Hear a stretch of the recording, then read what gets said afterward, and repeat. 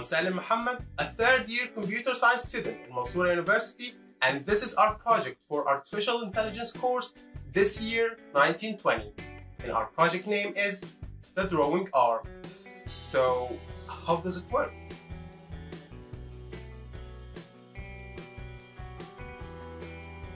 It accepts data like images or text from user, and then by applying some image processing algorithms, we convert them into a grayscale image. After that, we apply algorithms for edge detection to get the binary image. And all that's left is to convert those edges into a moving direction for the machine, which is the hardware part here, a CNC machine using Arduino and CNC shield and three stepper motors, one for each axis. Also, we did a simulation for the software and hardware here in my laptop. So let's go.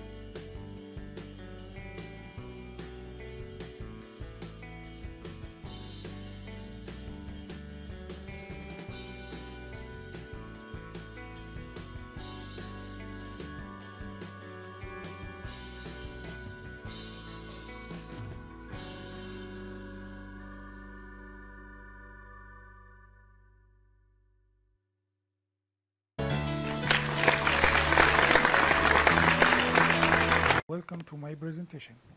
Let me introduce myself. My name is Ala Hindam. I'm a student in Faculty of Computer Science, Mansoura University. Today, I'm going to talk about artificial intelligence. I shall only take one minute of your precious time. The purpose of my project is brain tumor classification. It's based on convolutional neural network and transfer learning. I will leave the link of our paper in description. I divided data into three sets, training, validation, and testing. Data contains three classes of brain tumor, which I divided into 1,500 in training, 450 validation, 150 testing. I used convolutional neural network and FGG16 as a transfer learning and the fine-tuning barometer to reduce overfitting and I have got 97% training and 95% validation and 96.3% testing. Now I'm showing you the program and how it works.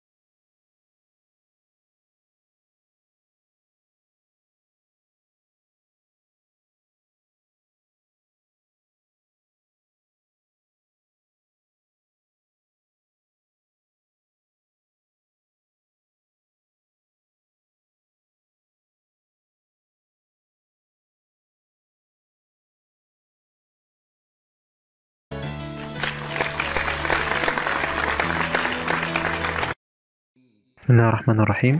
آه، مشروعنا اسمه Student Assistant. إحنا شغالين على Watson Assistant ده منصة تبع IBM بيكون معانا ID بندخل بيه. بنكون كريتين ID مسبقا. وال password بتاعنا بندخل على المنصة بتاعتهم. آه، فكرة المشروع اللي هو خدمة طلابية للطلاب. بنقدم لهم آه، خدمات طلابية. الطالب يقدر يعرف مواد الكلية اللي عنده لوائح الكلية أخبار الكلية جداول سكاشن. بنخش على ال skills بتاعنا. إحنا مكريتين skills اسمه student assistant ال skills ده بيبقى فيه versions اول versions معانا اسمها version development عندنا الانتيتيز والدايلوج والاوبشن والاناليتكس والفيرجن والكونتكت كاتالوج هنخش أول حاجة على ال entities عندنا أول حاجة نخش على ال subject subject 3 زي ما حضراتكم شايفين هنخش على ال entities ال entities دي اللي هي المقاصد بتاعتنا أو الكيان بتاعنا. عندنا ال term مثلا ال term ده عندنا first و second زي ما حضراتكم شايفين هنخش على ال dialog. ال dialog عندنا حضراتكم هو يعتبر يعني شبكة أو بنربط بيها ال entities اللي عندنا. فمثلا عندنا بتاع ال third three عندنا department وال department بيطلع منها term 1 و term 2 ده بيورث لها. زي ما حضراتكم شايفين إيه كل term فيه مواد ال- ال term اللي فيه. إيه نخش على ال node بتاع ال goodbye إيه ال goodbye حضرتك عند بيبقى كلمات آه، بننهي بيها الحوار. What can I do ده كلمات بتساعد ال user اللي هو نقدر نعرف منه أو نفتح معاه الحوار نعرف هو عاوز إيه بالظبط. هنعمل try لل لل agent بتاعنا أو ال chatbot بتاعنا.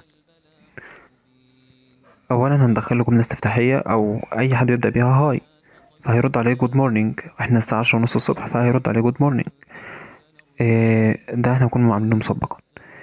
آه، هيعرض المساعدة ال user هي... هيطلب مساعدة. فهيعرض عليه إزاي يساعدك؟ محتاج مواد إيه؟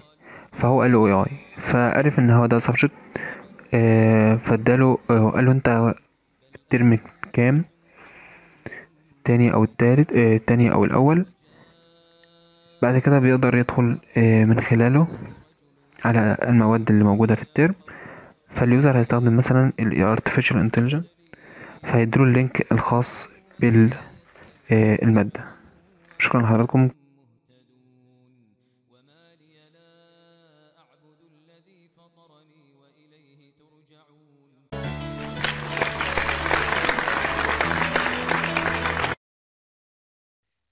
السلام عليكم ورحمة الله وبركاته. ده فيديو لل demo بتاع اللعبة عشان section أربعة آه AI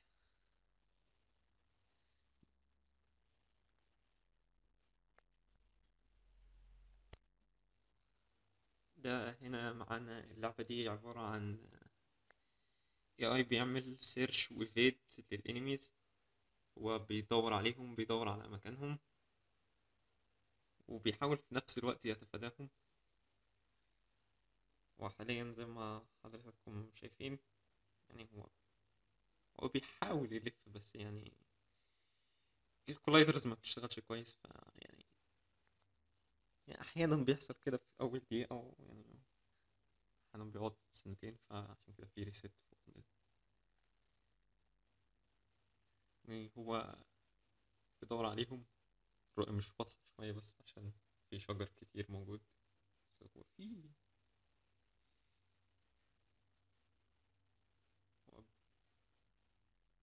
وبيختار الانمي بتاعه على حسب المسافة. بعدين بيحاول يتوجه ناحيته ان هو يقتله بعد كده بيغير اتجاه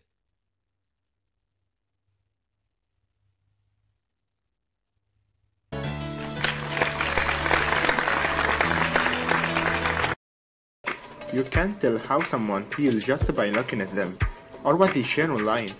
To the outside world, our lives may look perfect, even if reality they aren't. You need a closer look to understand how they really feel, and that's what Physiognomy will do. Once you open the application, you will be introduced to your chatbot, who will be helping to diagnose your mental health. This will be done through two stages. The first will be by talking to the chatbot, and the second will be by playing a game, which the chatbot will be analyzing. The chatbot will begin conducting a personality analysis by talking to the user and asking them questions and displaying pictures with psychological meaning. Then, during the second stage, the user will begin playing a game, and the chatbot will analyze how the players play this game and make psychological assessments.